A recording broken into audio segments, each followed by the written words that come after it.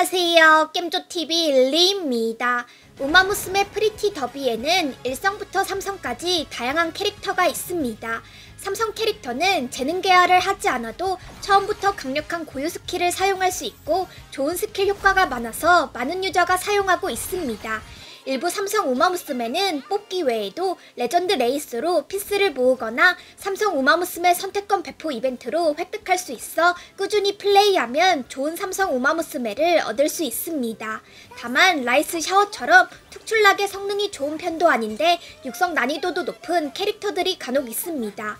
물론 애정을 담아 키우면 모든 콘텐츠에서 사용 가능하지만 이제 막 게임을 시작한 트레이너에게는 적합하다고 볼 수 없죠. 그래서 이번엔 우마무스메를 시작하는 유저를 위한 추천 삼성 우마무스메를 정리해 봤습니다.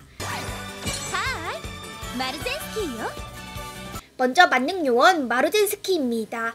마루젠스키는 마장 적성이 잔디 A, 더트 D인 대신 거리 적성이 단거리와 중거리 B, 마일 A, 장거리 C입니다. 사실상 잔디 레이스는 대부분 출전할 수 있고 인자를 갈아 넣어 dirt까지 커버할 수 있죠. 스킬 역시 쉽게 발동할 수 있는데 효과까지 좋아 생각 없이 사용해도 강한 모습을 보여줍니다. 게다가 육성법까지 간단합니다. 일단 거리와 상관없이 속도 위주로 키우다가 지능을 보강해주면 모든 거리에서 활약하는 도주마가 탄생합니다. 대신 매우 적합 상성인 우마무스메가 없어 계승에서 다소 손해를 보지만 육성된 우마무스메가 적은 초보들에겐 큰 문제가 되지 않습니다. 쉽게 키워 편하게 쓰는 그야말로 초보를 위한 우마무스메라고 하겠습니다. 오그리캡다. 요로시쿠 타노무. 다음은 마찬가지로 만능 요원인 오구리 캡입니다. 오구리 캡은 잔디 A, 더트 B, 마일과 중거리 A, 장거리 B, 선행과 선입 A라는 놀라운 범용성을 보여줍니다. 인자를 조금만 보충하면 단거리와 도주를 제외한 모든 적성을 A로 만들 수 있어 육성된 우마무스메가 부족한 초반에 큰 도움이 됩니다. 게다가 고유 스킬의 속도 상승량은 몇 안 되는 굉장히 상승이라 말 그대로 굉장히 유용하죠. 대신 URA 시나리오의 목표가 대부분 지원이라서 이제 막 게임을 시작한 유저에겐 다소 어렵게 느껴질 수 있습니다.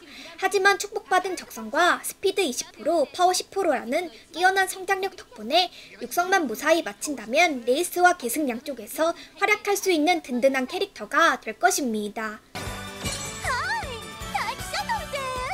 세 번째 추천 캐릭터는 단거리 마일 선행 요원 타이키 셔틀입니다. 거리 적성은 단거리와 마일만 A라서 범용적으로 사용하긴 힘들지만 마장 적성이 초반에 부족한 더트 B라 꿀같은 더트 요원으로 사용할 수 있죠. 특히 더트 단거리에선 훌륭한 성능을 보여줍니다. 또한 고유 스킬의 가속력 상승이 비교적 일찍 발동되기 때문에 꼭 더트가 아니더라도 단거리 마일에서 유용하게 사용할 수 있습니다.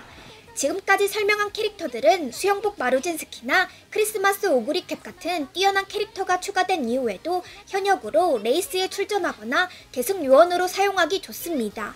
만약 우마무스메를 깊게 파고 싶다면 소개드린 캐릭터를 토대로 자신만의 팀을 구성해 볼 것을 추천합니다.